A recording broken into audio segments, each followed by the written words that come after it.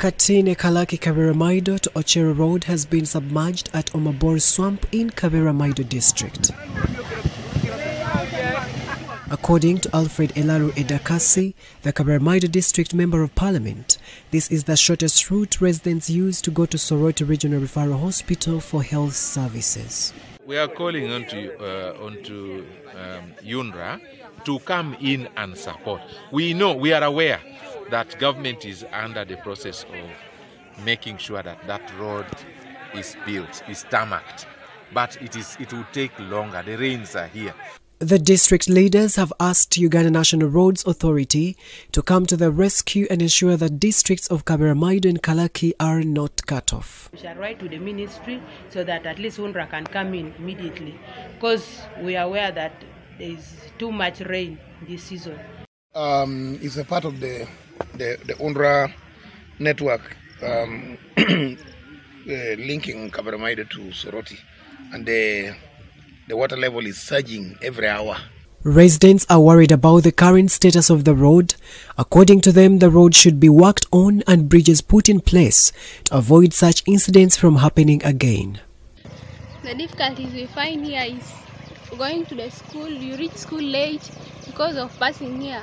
You might even like when you you can come when you're smart, but now if you reach here, just remove the stockings and shoes, you foot and cross the road, and you find that some children are like they're scared of passing here. They just remain home. I want this road to be worked on. Let there be a way such that it can be worked on and it becomes a better road. You know, let it be raised so high. such that. some learners who may come here, especially those ones who are young, may fear to pass through here. The Uganda National Roads Authority spokesperson Alan Sempebwa has confirmed that the swamp is submerged at 35 to 35 kilometers as a result of Lake Choga backflow.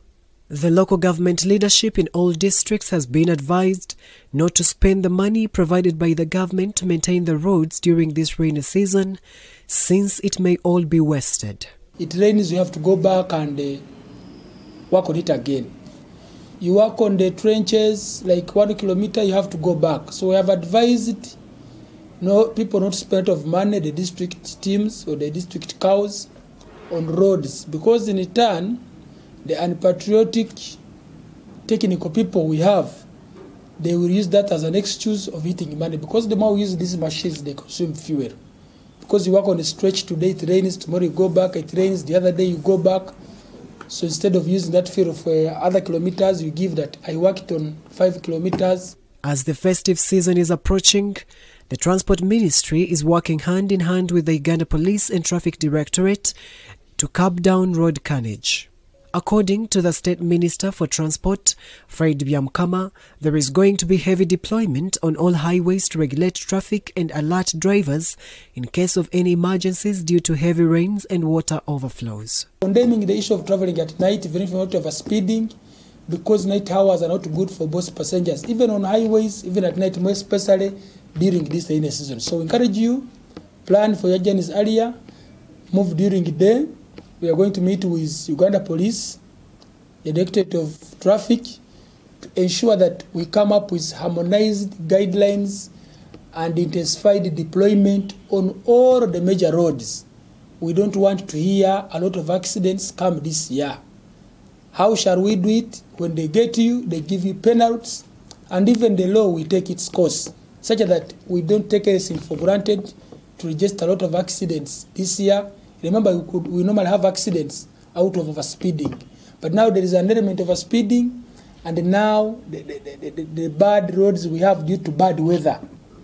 The floods, the broken bridges, the swamps, and all of that. So to avoid that, we must work with police to intensify the operations such that the advice I've just given you, it is put in place, and we have our good life come the next 24.